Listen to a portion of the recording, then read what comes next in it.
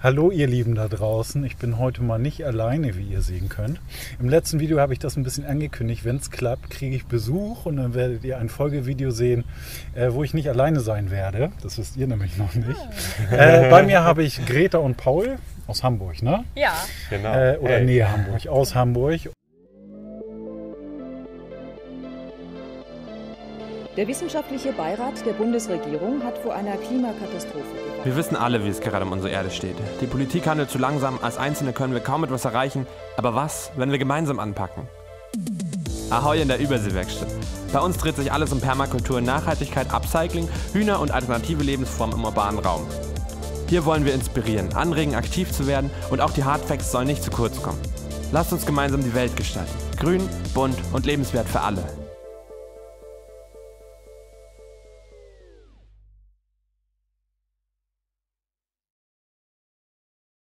Äh, Die haben mich vor ein paar Wochen angeschrieben und mal gefragt, ob sie mich besuchen kommen können. Seid hier auf der Ecke. Und heute hat das geklappt. Jetzt sitzen sie bei mir, haben auch gerade schon ein, ein Video gedreht, haben einen Gartenrundgang gemacht, wie ihr das eigentlich von mir auch schon kennt, irgendwie so. Ein Gespräch einmal rumgegangen, was wo irgendwie wächst und äh, ja, wie wir das hier so angehen. Äh, ja, und jetzt sitzen wir, haben uns gerade Gedanken gemacht, was wir irgendwie noch zusammen machen könnten, was auf, auf meinen Kanal kommen könnte.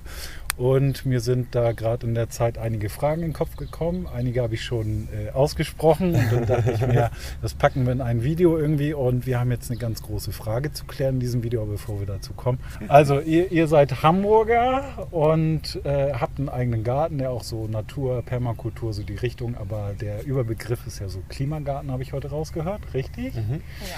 Und äh, also in die, in die Ecke wollen wir auch gleich gehen, aber äh, was hat euch denn da so in die Richtung geführt? Also ihr, ihr kommt ja irgendwo von eurer Berufung her, bei dir ja so mit Kamera habe ich mitgekriegt.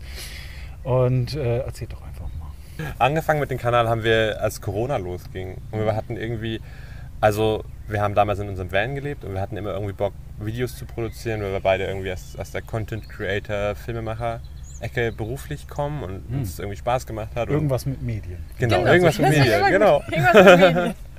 Ähm, und uns das mega Spaß gemacht hatte und damals bei Corona Mhm. eh nichts ging. Und dann haben wir damals so ein bisschen so eine, wie kann man das beschreiben? Als wir die Überseewerkstatt gegründet haben, war das so, so die Idee, dass wir, da, eigentlich war die Idee, dass wir, dass wir so ein bisschen rauskommen aus diesem Stadtleben und uns irgendwie so einen Seekontainer ausbauen und da so, ein- so ein Kreativatelier, wo wir irgendwie werkeln können, wo wir äh, Content produzieren können, wo wir irgendwie kreativ sein können. Genau. Schön. So aus, aus Scheiße, äh, aus Schrott irgendwas bauen, aus Scheiße Gold machen. Da Ja. fanden wir immer schön, irgendwie was äh, machen und Leute dazu anregen, auch einfach mal äh, die Sachen in die Hand zu nehmen und loszulegen. Gehst du dann auch so in die Sperrmüll? Na klar. Ja. Sehr schön. Große Sperrmüllliebe. Ja, da kann ich auch nicht dran vorbeigehen, und, ohne da mal rüber zu gucken, ob da irgendwas ist. Interessant ist ja immer Rohstoffholz, ne? Ja. Oder wie, ne? Da Ja. kann man schon einiges ergattern. Gerade, ne? Was hast du erzählt hier? Äh, Lattenrost, äh, in was habt ihr das Ja, verbaut? Geo, also nee, nicht wir, Ach, aber ach, Ge- genau, das, das war dieser Stadt, dieses Stadtparkprojekt, Ja, stimmt, das. Geodom aus Lattenrost. Ja. Das betrifft jetzt gerade ein anderes Thema, da bin ich in die falsche Richtung gegangen. Das ist ein kleiner Insider, ein Gespräch, was wir gerade geführt haben. Gehen wir wieder weg. Aber äh, ja, okay. Und dann habt ihr einfach losgelegt und, und hattet einen Garten oder, oder das habt, Garten hat ist, euch, ist später hat euch jemand. gekommen. Ah, okay. Genau, wir haben, wir waren im Van unterwegs, also Ja. wir kamen eigentlich gerade von einer längeren Reise und ähm, ja, wir hatten uns dann aber gesagt, okay, wir bleiben in Hamburg mit unserem Van. Und ich weiß, es hat im Van dann angefangen, dass so der Frühling kam und wir uns so dachten, okay, wir wollen irgendwie Gemüse, also wir sollen, wollen so ein bisschen was anbauen Mhm. und wir haben dann ehrlich so ein kleines Gewächshaus in unserem Van in die Frontscheibe gestellt, also so Ach, vorne cool. aufs Armaturenbrett ähm, Brett und haben so Regrowing viel gemacht, so Lauch und Salate, die wachsen dann ja so nach. Mhm. Ähm, das haben wir dann gemacht. Und, Habt ihr da ähm, Bilder von? Gibt es da Fotos? Bestimmt von dem Bestimmt. Lauch haben wir auf jeden Würdet ihr Fall. mir die zusenden? Kann ich ja, die das war ähm, Und das, ja, das war voll schön. Und dann haben wir da schon so gemerkt, okay, irgendwie ähm, reizt uns das voll, so, ähm, so draußen zu sein und sich, dass wir uns noch ein bisschen mehr mit diesem ganzen Thema ähm, Garten und Nachhaltigkeit hat uns eh schon immer Mhm. interessiert. Uns war das eh schon immer wichtig, irgendwie möglichst ähm, so zu leben, dass wir der Welt nicht ganz so viel Schaden zufügen. Ja. ja, das ist auch so das, was mich Ja. bewegt hat. Ja. Ja. Und dann haben wir, weil uns das halt so viel Spaß gemacht hat und die Tomaten natürlich immer nur so groß wurden und dann nicht mehr weitergewachsen sind in so Echt, einem war das so? kleinen, wir ja, ja, gehört. im Van war das dann irgendwie, da war dann Ja. so die Grenze erreicht in der Größe. Aber trotzdem spannend, Ja. was das so gibt. Mm. Und Gewächshaus Van. ja, voll. Ja, es ist eigentlich ja auch total so geil. Es ist warm. warm, ne? ja, und Die Ja. Feuchtigkeit kannst du halt nicht halten. Also könntest du theoretisch, aber ist halt nicht cool, um dann im Van zu leben und Nee. das Auto generell. Ja, man will ja auch noch eine freie Sicht haben. Ne? Und das war dann wahrscheinlich so die Grenze. Nee, und dann haben wir überlegt, ob wir irgendwann doch mal ein bisschen weiter rausfahren mit unserem Van und uns irgendein Gartenprojekt anschließen oder irgendwie einen kleinen Schrebergarten pachten auch. Und da so ein bisschen weiterkommen. Aber dann ist deine Oma gestorben und hat äh, ein Haus hinterlassen mit einem kleinen Garten am Rande von Hamburg. Das ist eher so ein Bungalow. Und da war irgendwie so dieses Ding von, es soll abgerissen werden und ähm, dann verkauft werden. Und dann waren wir irgendwie, hey, ist doch aber total schade drum. Und dieser Garten und dieses, dieser Bungalow, da, da können wir doch so was draus, draus machen, wenigstens für zwei, drei Jahre. So, das ist doch jetzt egal, ob das jetzt verkauft wird oder sp- Ja. später. Wollen wir uns da nicht irgendwie ein, einlisten. So. Und so sind wir in unseren Garten gekommen. Schön. Ja. Und was hat das mit euch gemacht, so seitdem bis jetzt? Habt ihr gemerkt, dass das was mit euch macht irgendwie? Ja, Ja, total. klar. Also allein schon dieses Bewusstsein dafür, wie Pflanzen wachsen, wie Ja. die Natur funktioniert, wie die Kreisläufe sind. Ich finde, das ist so, ähm, das ist so was Schönes. Ja. Und äh, Man kann auch nicht aufhören, dazu zu lernen und zu ja, beobachten und man und zu läuft gucken. jeden Tag durch den Garten und oh, guck mal, hast du das Ja. schon gesehen? Hier ist das aufgegangen oder wow, woher kommt das? Und ich finde, das ist so jedes Mal so eine kleine Entdeckungsreise und ich Das kennt ihr irgendwoher. Ne? ich finde, man entdeckt sich selber und auch so sein, seine Rolle in dieser Welt und Ja. in dem Leben einfach Ja. nochmal ganz neu und anders. Ja. Ähm, und was für mich einfach voll wichtig ist, dass ich in dieser Zeit auch gemerkt habe, okay, äh, wo Sachen, dadurch durch dieses, wie Sachen entstehen und wo sie herkommen, habe ich mir auch viel mehr Gedanken gemacht überhaupt über so ähm, ja diesen ganzen Konsum und was man eigentlich macht und Mhm. Ja. Das waren dann so Sachen, haben wir auch angefangen, irgendwie Brote selber zu backen und Ah, so, weil man toll. sich dann, weißt du, weil du so in Da alle sind sie Bereiche schon weiter. Da sind sie schon weiter als ich. Also Ich baue ich noch nicht das, äh, das Korn an. Da bin ich noch nicht. das habe ich schon versucht zum Brotbacken, kam es nicht, aber ich habe das Korn immer noch zu Hause. Ja, gut. Eins könnte man da wahrscheinlich nicht bleiben.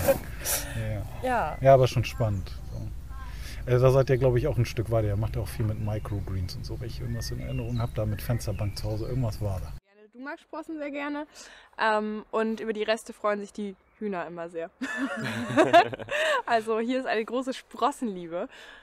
Und es ist eben mega cool, sich seine Microgreens selber anzubauen, weil ihr halt wirklich, ihr habt das Glas, ihr habt das Saatgut, ihr gebt da Wasser drauf und es wächst bei euch.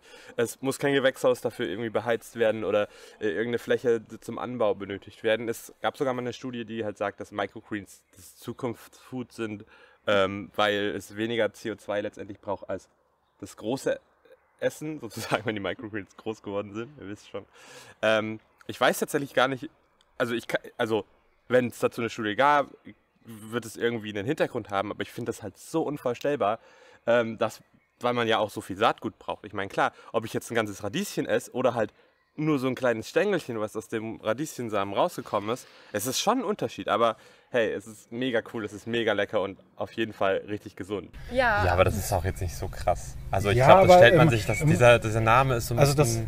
ja, für mich, äh, für mich sind persönlich, für mich persönlich Ja. sind solche Sachen schwierig in meinem Alltag. Ja. Also ich habe jetzt hier den Garten so und mache schon viel in die richtige Richtung. So. Und mache das aber auch schon so kurz, dass ich merke, okay, um jetzt diese ganzen Sachen auch irgendwie äh, äh, einzumachen, sich übers Jahr zu bringen, das braucht Zeit, bis man Ja, reinwächst. total. Und wenn ich jetzt an zu Hause denke, wie oft ich mir vorgenommen, ey, ich will jetzt Microgreens machen und so. Übrigens eine richtig gute Sache. Ich bin ein Freund, ein Freund von Rohköstlichkeit, da kommt so eine Power der Natur durch. Ähm, ja, das habe ich aber nicht geschafft zu integrieren. Also wenn ich das zu Hause gemacht habe, dann habe ich irgendwann den Punkt erreicht, verdammt, er hat kein Wasser gekriegt oder und dann ist es schon zu spät, dann will er schon eher woanders hin als im Ja. Magen. ja. um es mal milder auszudrücken. Aber das passiert uns auch ständig. Ja, okay. ne? Also, ah, da bin ich ja so- glücklich. Das, äh, bin ich ja froh, dass ich nicht alleine bin. Nicht glücklich, glücklich. Ich glaube, das, das ist so, das passiert. Oder auch, dass man, dass man Sachen einkocht und dann ist oben doch irgendwie, war es nicht richtig oder so. Und dann musst du irgendwie eine Portion Apfelmus. Oder dass man seine Auberginenpflanze drei Jahre lang züchtet, bis sie irgendwie so eine Größe erreicht hat und dann kommt keine Frucht dran. Und dann Ja. ein. So. Ja. Ja, das passiert. ja, spannend. Ja, es macht schon eine Menge so, wenn man dann irgendwie, ich hatte, oder habe ich das immer noch, bei mir zu Hause an der Haustür, glücklich wird, wer selber macht, das ist auch so ein Aspekt. Äh, gerade so Sachen nicht immer kaufen und Mhm. äh, allein was da so an Achtsamkeit und Liebe reingeht. Und gerade wenn man sowas hat, wir hatten äh, gerade auch noch ein Thema mit Stadtgärten, wie es ist, wenn man äh, irgendwie selber was schafft, hat man einen ganz anderen Bezug zu und äh, es ist nicht ein Gegenstand, den man von A nach B räumt, wenn es ein Gegenstand ist, äh, in irgendeiner Form, die man im Alltag nutzt oder so, sondern es ist etwas, mit dem man gut umgeht, dass es möglichst lange hält. Ja. Es ist halt so eine andere Geschichte, die draus wird. Und das betrifft ja irgendwie auch den Garten. Gerade wenn man so sowas aufbaut, das geht ja nicht von heute auf morgen, man wächst da rein. Schön. Was hatte ich denn vorhin noch für Fragen? Fällt euch noch was auf? Äh, ein? Also der, der Hauptbegriff, wir können uns ja dem mal widmen. Ja. Äh, was ist ein Klimagarten? Also erstmal vorweggeschoben, wir sind hier Privatpersonen, keine Fachleute und geben unsere Gedanken zu dem ganzen Preis, Ja. dass wir uns hier nicht irgendwo in die Nesseln setzen, sage ich das mal jetzt an. Und somit, äh, ähm, ja, was ist für euch ein Klimagarten? Das ist ja so, so der, der, der, der Hauptbegriff im Moment so ein bisschen ähm, für, für das, was ihr da tut über YouTube, der Überseewerkstatt. Genau. Willst du ein bisschen was zum Mhm. Klima Also wir haben letztes Jahr haben wir also wir haben das Haus oder diesen Garten im Herbst 2020 übernommen und da haben wir so die ersten Beete mal angelegt. Also es war komplett wilde Wiese und da haben wir die ersten Beete angelegt und ähm, irgendwie Spinat und Feldsalat und Radieschen. Das war alles total schön und dann dachten wir, okay, das war jetzt so Garten, wie ich das klassisch aus meiner Kindheit kenne. Ich bin im Dorf aufgewachsen und dann so so war das halt. Und dann im nächsten Jahr, 21, haben wir halt gedacht, okay, jetzt widmen wir uns mal dem Thema Permakultur und haben irgendwie alles ausprobiert, was so geht. Mischkultur, Kreislaufwirtschaft und also so einfach mal, einfach mal querbeet durchprobiert und erkundet. Und da ist uns aufgefallen, dass halt einfach der, dass das ja, dass das ja Techniken sind und, und, und Mechanismen, die mega alt sind und sich die Welt aber heute total schnell verändert, Ja. klimatisch verändert. Ja. Und wir am Bodensee auf einer Reise 2021 Kiwis gegessen haben. So. Die da gewachsen Die da gewachsen sind. wir haben Kiwi. Ja, wir sind noch in Deutschland. Und das war. Und das, das ist total krass, und dass wir plötzlich Melonen anbauen können oder Auberginen anbauen können bei uns. Und ähm, Gurken riesig groß werden und diese, eben nicht diese kleinen Feldgurken sind und Erdbeeren schon mega früh reif sind. Und es ist einfach eine Welt, die sich mega schnell verändert. Und da dachten wir, okay, vielleicht können wir die Aspekte der Permakultur benutzen und daraus lernen, aber weiter formen. Weiter Ja. formen in Richtung klimaangepasstes Gärtnern. Ja. Dann haben wir diesen Begriff klimaangepasstes Gärtnern gegoogelt und sind halt irgendwie immer wieder auf diesen Klimagarten gestoßen, was es noch gar nicht so richtig gibt, aber so, es gibt so vereinzelt so ein paar Quellen. In Tübingen gibt es einen Klimagarten ähm, von der Uni und äh, der NABU hat so ein bisschen was zum Klimagarten gemacht und da haben wir eben so versucht, verschiedene Sachen auszuprobieren und kennenzulernen. Cool. Ja, ja das, also wie er selber auch sagt, es, es fällt letztendlich dann wieder unter die Permakultur. Ähm, also äh, das möchte ich vielleicht, ich dachte, das schmeiße ich mal an dieser Stelle rein. Es ist ja ganz oft so, die, die Leute gucken so nach Gärten, also gerade so, so, so Gartenanfänger oder vielleicht auch jemand, der sich generell dann nochmal äh, belesen will und so, und dann beschäftigt er sich mit der Permakultur und dann landet das meiner Meinung nach zu sehr in der Gartenanbaustrategie-Ecke. Also Ja. wenn man Permakultur mal auseinanderfriemelt, ist es eine permanente Kultur. Und jetzt, äh, jetzt kann ich mal ein bisschen was weitergeben, was meinen Kanalnamen angeht. Er heißt ja Permaculture Mind, also äh, der Geist der Permakultur. Und für mich persönlich ist es einfach mehr als das. Erstmal sind wir Ja. Menschen Teil des Ganzen. Und äh, für mich ist das ein Leben im Einklang mit der Natur. Also Ja. noch darüber hinaus. Also genau das, was ihr gerade, also was du gerade beschrieben hast. Also wenn ich, wenn ich das so sagen darf. Ja, oder? total. Ja, schöne Richtung. Also im Endeffekt spielt es keine Rolle, wie man es nennt. Ja. Äh, wichtig ist, dass wir, glaube ich, so mit der Natur leben, dass ähm, ja, wir mehr zurückgeben, als wir nehmen. Das ist so meine Einstellung hier. Äh, ja, und somit kann sich das nur potenzieren. Ich finde toll, was ihr macht. Also wirklich echt toll. Ja, das was ich da danke. auch, was, was, was ich da so an, an, an Videos gesehen habe. Also ich habe jetzt nicht hier von Anfang an verfolgt, aber die, die ich gesehen habe, das hat mir sehr gut gefallen. Macht bloß weiter so. Also für mich sind das die jungen Helden von morgen, definitiv. Jetzt werden sie rot. Das war nicht abgesprochen, siehst du? Guck mal. Ja, aber es ist so. Es, äh, ich ja, bin, bin froh, dass das immer mehr in die Richtung geht. Du hast noch gar nicht erzählt, welche Background. Oder du hast es für sie mit Ach so. ne? Ja, ich kann aber noch mal äh, kurz sagen, genau, ich habe ähm, äh, eine Zeit lang im sozialen Bereich gearbeitet und habe äh, da, glaube ich, einfach also vor allem zwischenmenschlich voll viel Ja. mitgenommen und ähm, Genau, ähm, bin dann aber, weil ich schon immer gerne geschrieben habe, also ich hab, ähm, mochte das schon immer und ich habe auch gerne Ich suche noch jemanden, der meine Videotitel schreibt. Ah, Ja, ja, das verstehe ich, würde ich auch immer gerne abgeben. Wir E- übrigens E- auch. E-Mail-Adresse Also, habe ich.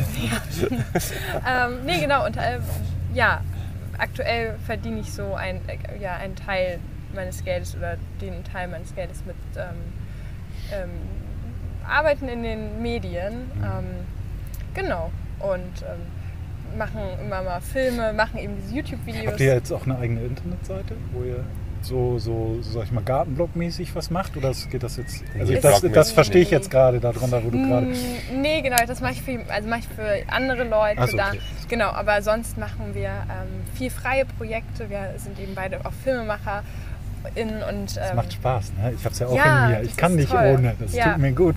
ja. Ja, das Und ich. genau, das, das Herzstück ist gerade ein äh, Dokumentarfilm, an dem wir jetzt schon sehr lange arbeiten zum Thema Klimakrise und Schön. die Generation, die das Ja. auch vor allem betrifft, oder die Leute, die auch schon einfach mitwirken, um etwas dagegen zu tun.